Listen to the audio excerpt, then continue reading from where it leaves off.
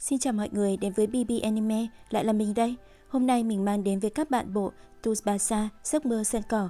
Không để mọi người đợi lâu nữa, cùng xem ngay thôi nào. Trận đấu vẫn được tiếp tục.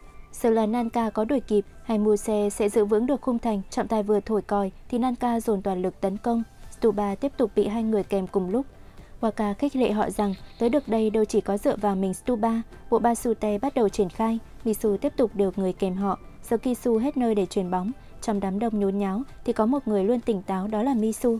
Nanka gặp rắc rối vì họ không thể tấn công được, giờ Misu lại cho những người còn lại lên cướp bóng. Nanka bị mất bóng nên cũng bắt đầu hoảng hốt. Isi lập tức cướp lại và cùng đồng bọn tiến lên. Thời gian sắp hết nhưng Stuba vẫn đang bị kèm rất sát. Taki định sút nhưng lại chuyển bóng về cho Taro. Cậu ấy bắt đầu luồn qua người như công phượng. Misu cho người cản Taro nhưng vẫn cho kèm Stuba. Waka bảo cậu ấy cứ vậy mà sút. Cậu nhắm vào khung thành và sút nhưng thủ môn đỡ được bóng. Stuban nhanh chân chạy lên và cứu bóng, nhưng quay ra thì rất nhiều người đã vây cậu. Trọng tài bắt đầu nhìn đồng hồ. Suba nhìn lên trời và thấy lối thoát duy nhất ở đây là bên trên. Cậu hất bóng lên và nhảy theo nó. Sau đó cậu vô lê vào trong cầu gôn nhưng khó mà vào. Đột nhiên một cú đánh đầu của Taro đưa bóng vào lưới. Nanka đã kịp gỡ hòa trước khi trận đấu kết thúc. Mọi người vui mừng vì đã gỡ lại được. Misu tự trách mình đã đọc sai lệnh, kia là đường truyền chứ không phải là cú sút dứt điểm. Hiệp phụ được bắt đầu với bóng bên Musa phát bóng. Suba sẽ dốc toàn lực trong trận này để không phải đá pen. Vì để đền đáp lại Misu cố gắng, nên cậu sẽ không bỏ lỡ một giây nào. Misu sẽ tự cản cú sút này. Suba tung cú sút siêu dài và đi trên sân trơn trượt thì nó cũng nhanh hơn bình thường. Thủ môn không chạm được và Misu cũng bất lực như trọng tài thổi còi luôn. May mắn thay bàn thắng được công nhận trước khi trận đấu end. Mọi người đều vỡ òa trong niềm vui hân hoan. Suba chạy tới hỏi thăm Misu và Misu công nhận cậu rất giỏi. Suba nghĩ không đúng vì nếu Misu không bị bệnh thì thừa sức ăn được cậu. Misu thấy rất mãn nguyện vì trận nào cậu ấy cũng chỉ chơi được vài phút. Nhờ có Suba là đối thủ nên cậu ấy có thể chơi full trận và đây cũng là trận mà cậu ấy cảm thấy hành nhất. Misu vẫn muốn tiếp tục đá bóng, mặc dù một trận chỉ có 1 đến 2 phút và mong chờ bệnh tim mình khỏi. Bố Suba cũng nghe tin và từ xa cổ vũ con mình. Đội cổ vũ chờ mấy ông chú lái xe tới. Xe của họ bất ngờ lần này treo hẳn bảng hiệu cổ động cho Nanka. Huấn luyện viên bắt đầu lên kế hoạch và đội hình cho ngày mai. Ông ấy bảo hôm nay Waka sẽ là người chấn giữ khung thành cho Nanka. Nhưng nếu chân cậu có dấu hiệu bất ổn thì vẫn phải thay Mori vào. Sau trận này Taro sẽ chuyển đi, còn Suba sẽ đi Brazil sau trận này. Họ sẽ chơi hết mình để không còn gì hối hận. Giải toàn quốc bước vào trận chung kết. Toàn áp sân vận động đầy áp người đang hào hứng về trận đấu. Các cầu thủ Nanka đã ra sân và phụ huynh của họ cũng tới để cổ vũ con mình. Nanka nhanh chóng khởi động nhưng các cầu thủ Mewa vẫn chưa ra sân. Đột nhiên có đường bóng bắn thẳng vào gôn của Waka. Đó là đội Mewa đã ra sân. Nãy mọi người rất lo cho Hiu vì cậu ấy chưa tỉnh lại. Hiu đột nhiên tỉnh lại và bảo cơ thể mình đã hồi phục hoàn toàn rồi. Anh ta giờ đã thay đổi suy nghĩ về lối chơi đồng đội nên cả đội sẽ đáp lại lòng tin đó. Mấy đứa em và mẹ Hiu cũng bắt đầu chuẩn bị đi cổ vũ cho cậu. Hiệp hội bóng đá cũng sẽ quyết định thu nhận Hiu hay Suba dựa vào kết quả. Hai bên đều sụp sôi khí thế đòi đánh bại đối phương. Trận chung kết giải toàn quốc chính thức được bắt đầu. Hiu bắt đầu phát động bóng lên sân Lanka. Suba cũng chấp nhận lời thách đấu và lao lên. Hiu tung thẳng một cú sút cực mạnh và giữa bụng Suba khiến cậu ôm bụng gục ngã. Suba vẫn cố đứng dậy, đẩy gót chuyển bóng cho Taro. Sau đó Taro chuyển một đường dài cho Suba đang chạy chỗ bên trên.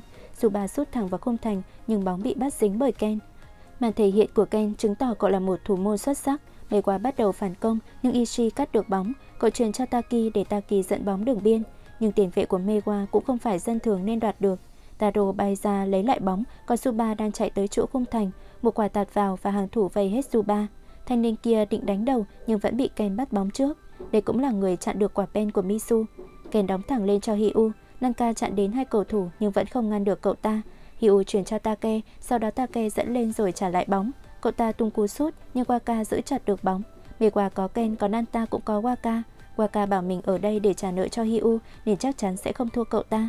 Suba lại có bóng và lách qua từng người, sau đó tiến tới gôn và vào thế sút. Nhưng chả hiểu sao, cậu lại sút hụt một dòng sông quê.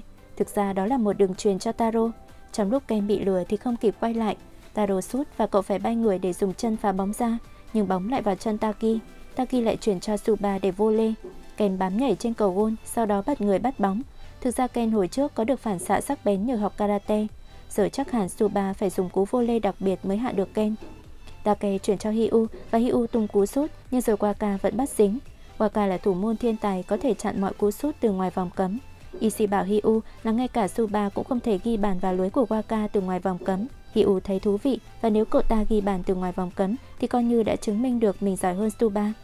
Sau 10 phút thì trận đấu vẫn có tỷ số không đều nhờ có Waka và Ken. Hiu thấy đội Nanka đã tiến bộ hơn rất nhiều. Suba lại vượt qua được sự kèm chặt của hậu vệ. Cậu tung chân sút và liếc Kisu nên biến cú sút thành một đường truyền. Kisu cũng bắt đầu sút nhưng Ken vẫn với tay tới khiến bóng bay lên trời. Đúng lúc Zuba dùng cú vô lê mà Ken đang nằm chưa kịp dậy, Hiu cũng dùng cú vô lê ngăn lại và hai bên bị ngã xuống sân. Taro nhanh chóng chạy lên, Zuba nhìn bóng cũng bật dậy, hai người họ cùng sút chung một trái khiến bóng đảo liên tục, cuối cùng nó xuyên qua người Ken và chui thẳng vào lưới. Sau 12 phút thì Nanka cũng mở bàn thắng đầu tiên, mọi người đều bất ngờ về pha cùng sút bóng bởi Zuba và Taro. Ken tức giận vì mình không thể chặn được cú sút đó. Hiu sốc lại tinh thần và bảo đó chỉ là do họ ăn may, giờ cậu ấy sẽ gỡ lại bàn đó. Trận đấu tiếp tục và Hiu lại lao lên tấn công do bàn thua vừa rồi. Giờ không ai có thể cản cậu ta. Tà đồ cắt được bóng nhưng lại bị Take cướp mất. Lại một cơ hội ghi điểm và Hiu dùng một cú sút ra. Bóng bay với tốc độ cực nhanh nhưng rồi Waka vẫn bắt dính. Đây là lần thứ ba mà Hiu không thể ghi bàn. Cậu ta cứ sút và Waka lại bắt. Waka chưa hề để thủng lưới một lần nào với mấy cú sút ra ngoài vòng cấm. Giờ Hugh muốn phá vỡ cái quy luật đó của Waka. Nhưng đó cũng là một trong những sai lầm của tiền đạo nên giờ Hiu cũng đã coi như bị tạch trong bài kiểm tra. Các cầu thủ của Mewa tiếp tục truyền bóng cho Hiu. Lần này Waka lại bắt được, nhưng lòi đâu ra Taka lao vào. Cậu ta đánh đầu nhưng vẫn bị Waka dùng chân hất bóng ra ngoài. Hiệp một kết thúc và Waka đã thể hiện rất tốt. Trong phòng thay đồ, Suba bảo mình thích mục tiêu của cả đội hơn là bản thân, còn bên Mewa thì Hiu bảo Take đừng có xen vào nữa. Take nói thẳng, Hiu hôm nay chơi không hề giống những gì Mewa từng chơi. Phương châm của họ là win bằng mọi giá, mà Hiu cứ sút ngoài vòng cấm. Hiu nắm vào vai Take và nói cậu đã đúng. Anh xin lỗi mọi người về sự ích kỷ của mình. Anh muốn vào học viện Toho nên mới làm vậy. Nãy cậu đã sút ngoài vòng cấm để thể hiện mình giỏi hơn Suba, nhưng hình như đó là nước đi sai. Gia đình của Hiu cũng tới để cổ vũ cho cậu, giờ Mewa chơi theo vòng cách của chính mình. Lực lượng của Mewa xông lên xoạc bóng, Suba và Taro cứ liên tục né những cú xoạc của cả đội mê dù Suba tí thì bị ăn xoạc vào chân, may là cậu tránh được nhờ một cú nhảy. Hữu cướp bóng được trên không của Suba, sau đó mê qua bắt đầu dâng lên tấn công. Nanka phòng thủ để chặn Hiu, Hiu đánh gót cho Take, sau đó chạy vào vùng cấm cấm của Waka. Take vừa thấy lỗ hổng thì truyền cho Hiu, Hiu tung cú sút trực tiếp trong vòng cấm địa, nhưng Waka lao lên chạm được vào bóng. Hiu tung hết sức đá cả người lẫn bóng bay đi. Tuy Gaka bay vào lưới, nhưng vẫn giữ được bóng bên ngoài vạch. Em của Hiu lên tiếng và Hiu để ý thấy gia đình mình tới. Nhóm mấy ông mà cậu thường hay giúp cũng tới đây để cổ vũ. Giờ Hiu có thêm động lực ghi bàn vào lưới của Waka. Nanka chuyển bóng cho Suba. Mike lo cho chân Waka vì cậu có thể chơi được một trận đấu bình thường. Nhưng nãy giờ cậu đã bắt rất nhiều quả bóng vào gôn của Hiu. Đang điều khiển đội thì Waka thấy chân mình nhói lên. Suba biết ở hiệp 1, Waka đã dùng chân bị thương để cản cú sút của Take. Họ sẽ không để Waka chịu nặng thêm. Suba chuyển bóng cho Iza và chạy chỗ. Hiu bảo mọi người về thủ và lấy bóng cho mình. Lần này cậu hứa sẽ ghi bàn cho bằng được. Cú sọc của Mewa cướp được bóng, nhưng Taro phản ứng kịp và cướp lại. Suba ra hiệu cho Taro tiến thẳng về khung thành Mewa. Take chạy về và sọc vào chân của Taro. Cậu ấy quay lại, nhưng Taro vẫn tiếp tục tiến lên. Bóng cầu vào khung thành của Mewa và Suba chạy về phía cột dọc. Ken cũng chạy về phía cột dọc còn lại. Suba từ cột dọc bật lên xà ngang dùng kỹ thuật của anh em Tachi. Ken cũng dùng xà ngang làm bàn đạp nhảy lên, sau cùng thì một bên rút còn một bên bắt. Suba lại dính thêm một lần úp lưng xuống sân cỏ. Suba thì không đứng dậy được, còn Taro thì ngồi ôm chân sau pha vừa rồi của Take. Bóng được truyền tới chân Hiu, Waka điều khiển hàng phòng thủ, đội Mewa cũng tiến lên để giúp Hiu. Thay vì tiến lên thì Hiu lại truyền cho đồng đội. Take có bóng và cầu vào trong Hiu, Hiu đỡ được bóng và sau đó tung cú sút thứ 6. Waka dùng tay đánh bay cú sút này nhưng bóng bay vào cột dọc. Cậu bảo hậu vệ phá bóng nhưng Hiu dùng đầu lao vào đưa bóng vào lưới. Giờ tỷ số trở lại thế cân bằng, Hiu bị chảy máu ở đầu nhưng quan trọng hơn họ đã gỡ hòa. Ta Kẻ vẫn áy náy về chuyện mình lỡ làm Taro bị thương với cái chân bê bết máu. Suba thì cũng tập tễnh bước đi, nhưng còn Taro thì không thể đứng dậy, cậu ấy được đưa ra ngoài sân để được chăm sóc. Nanka không còn lựa chọn nào ngoài đám 10 người trên sân, chuyển động của Suba không còn sắc bén như trước và cậu thực sự cũng đã bị thương ở chân. Trước mặt Suba là Hiu và Hiu cướp được bóng từ chân Suba.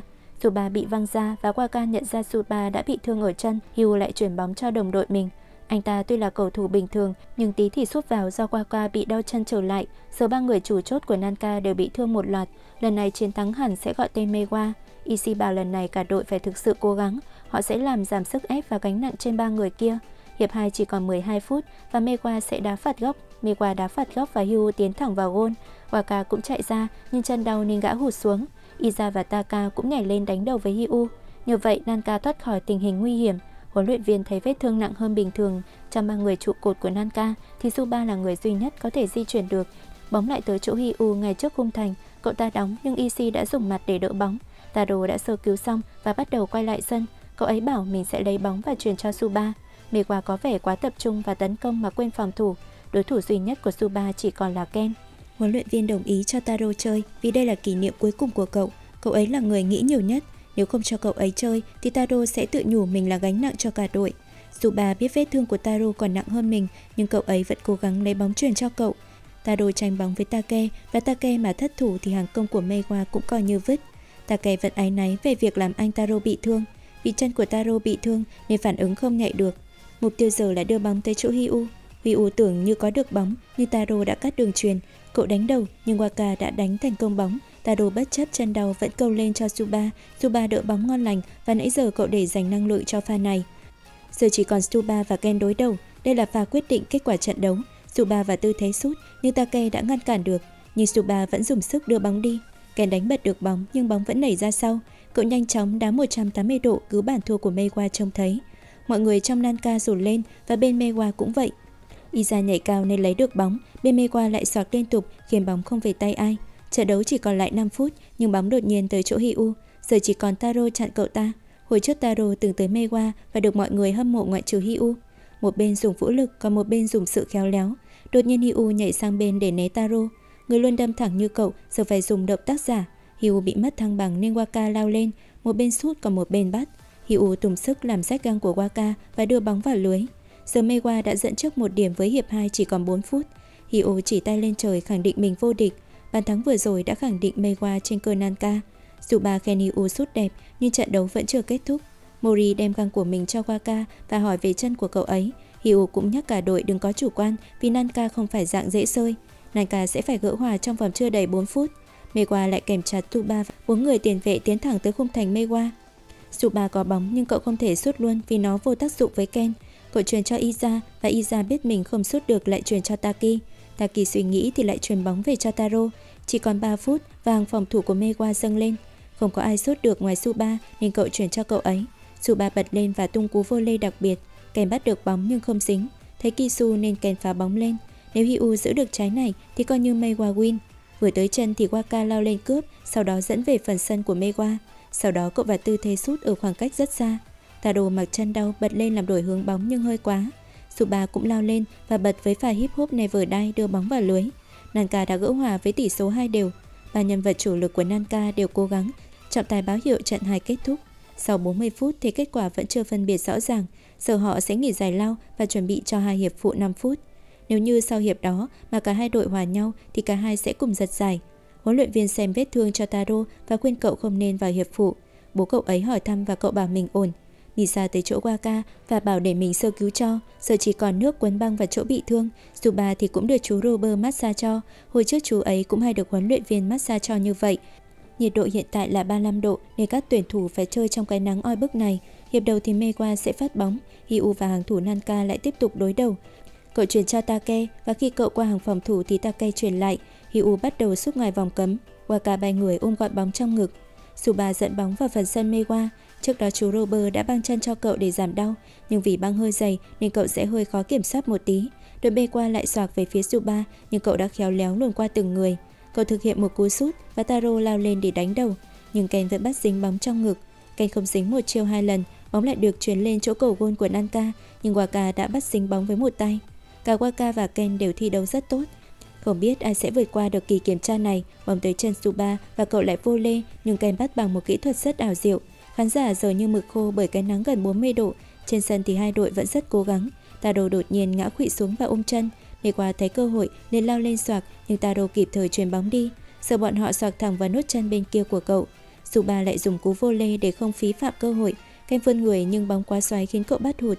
Cùng lúc đó thì trọng tài thổi còi kết thúc trận đấu và cái kết bàn thắng không được công nhận. Mọi người chạy tới chỗ Taro hỏi thăm. Suba tới đỡ cậu ấy và xin lỗi vì mình không thể ghi bàn. Chỉ còn 5 phút và trận này thắng hay thua là do thủ môn. Vào hiệp cuối này, họ sẽ dồn hết sức để không phải mất thêm 5 phút nữa. Hiệp vụ thứ hai lại bắt đầu, nếu như Taro mà không chịu được thì cậu ấy sẽ tự xin thay ra. Lần đầu tiên Taro chơi bóng với Suba là lúc bù giờ, hiệp vụ bắt đầu và Suba dẫn bóng lên. Dưới sự quan sát của khán giả thì thời gian đã trôi đi từng giây. Trong lần này may mắn sẽ mỉm cười với đội nào. Suba dùng cả tư cách để chiến đấu. Cậu tung một cú sút về phía khung thành và Ken vẫn bắt dính.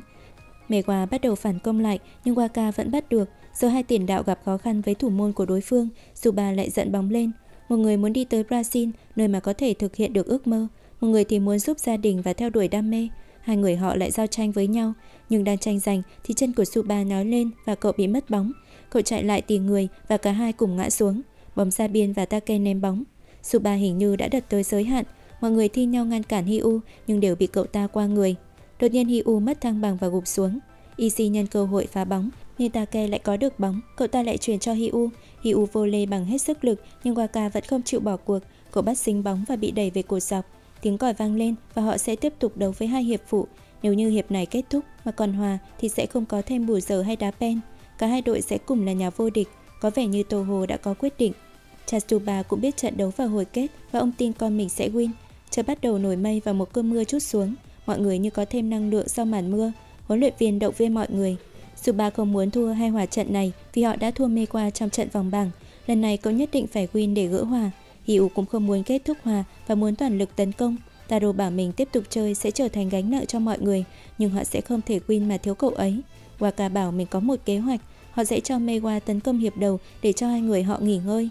Sau đó khi đã đủ sức thì họ sẽ đặt cược vào hiệp 2. Mewa bắt đầu bằng giao bóng, một đường truyền đẹp cho Hiu, nhưng Waka đã chặn được cú sút của cậu. Mọi người lại tiếp tục ngăn cản Hiu, kể cả hậu vệ Taka khổng lồ. Lần này Hiu không vượt qua họ được, tưởng họ sẽ tấn công nhưng đội Nanka chỉ chuyển bóng bên dưới. Hàng phòng thủ của Nanka tiếp tục kèm chặt Hiu, Waka vẫn không để lọt lưới kiểu gì. Ken nhận ra kế hoạch của Nanka và kêu gọi Hiu, thủ môn Ken chạy lên hỗ trợ tấn công. Waka cùng là thủ môn nên đoán được góc cậu ta sút. Hiệp 1 kết thúc với khung thành Nanka an toàn, giờ tới lượt Stuba và Taro. Hiệp 2 được bắt đầu và cặp đôi Stuba và Taro bắt đầu tấn công. Khán giả cổ vũ rất nhiệt tình. Stuba qua người từng cái một, những bước di chuyển đó là thành quả của việc nghỉ ngơi ở hiệp 1. Cậu dụ bạn tới và truyền đi cho Taro.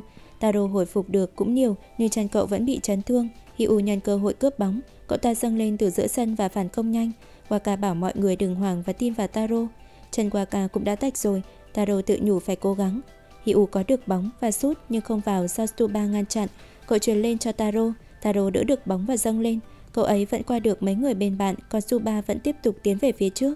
Hai người họ truyền qua lại, tới gôn thì họ đóng nhưng không vào. Easy đã đón được bóng và cậu ấy câu vào bên trong cho hai người kia. Taro dùng cú vô lê và Hiu cũng vậy nhưng đều hụt. Thực ra cậu ấy là mồi nhử cho Suba sút phát đó. Sau cùng thì Suba cũng đưa được bóng vào lưới, rồi Nanka đã dẫn trước một bàn.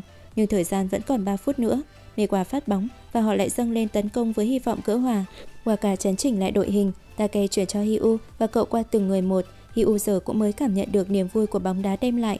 Bao nhiêu người soạc cũng không làm chậm bước Hiu, cậu ta định vô lê nhưng thấy Suba nên chuyển đi. Take nhận được bóng và cậu ta sút nhưng Waka vẫn còn bay người được. Chân của Waka bị thương và pha cứu thua vừa rồi của cậu đã đưa chân cậu về tình trạng rất tệ. Nanka vẫn đang dẫn trước một bàn, nếu họ và giữ bóng cho đến hết trận thì coi như xong.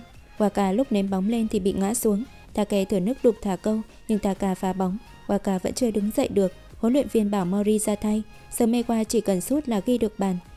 Cả đội họ chạy lên như giặc, giờ Nanka phải ngăn cản họ sút bằng mọi giá. Đã có bảng thay người nhưng chỉ bấm ra biên mới thay người được. Taro kèm Hiu và mọi người cũng bắt đầu triển khai phòng thủ. Thời gian còn không quá một phút. Kèm bắt đầu từ cầu gôn lao lên. Nhân lúc Taro lơ là thì Hiu thoát khỏi thế kèm. Cậu ta có luôn được bóng.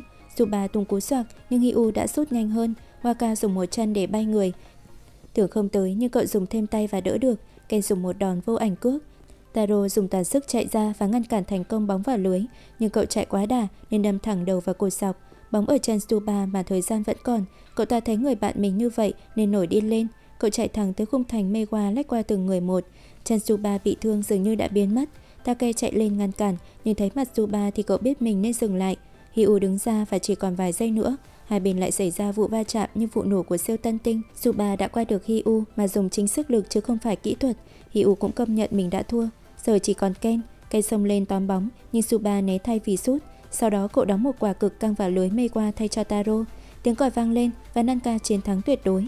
Waka đỡ Taro dậy và mọi người đều vui mừng vì đã win.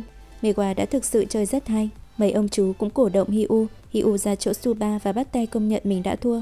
Cậu cũng có lời khen cho Taro và Waka. Ken cũng không phục Suba vì đây là lần đầu cậu ta bị ghi 4 bàn. Sau trận đấu thì Nanka và Mewa bắt tay ăn mừng cho nhau. Cuối cùng thì mọi người cũng có cái kết happy ending.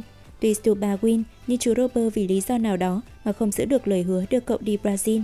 Được rồi, phần này tới đây là kết thúc. Hẹn gặp lại các bạn vào phần sau nhé. Đừng quên bấm like và đăng ký nha.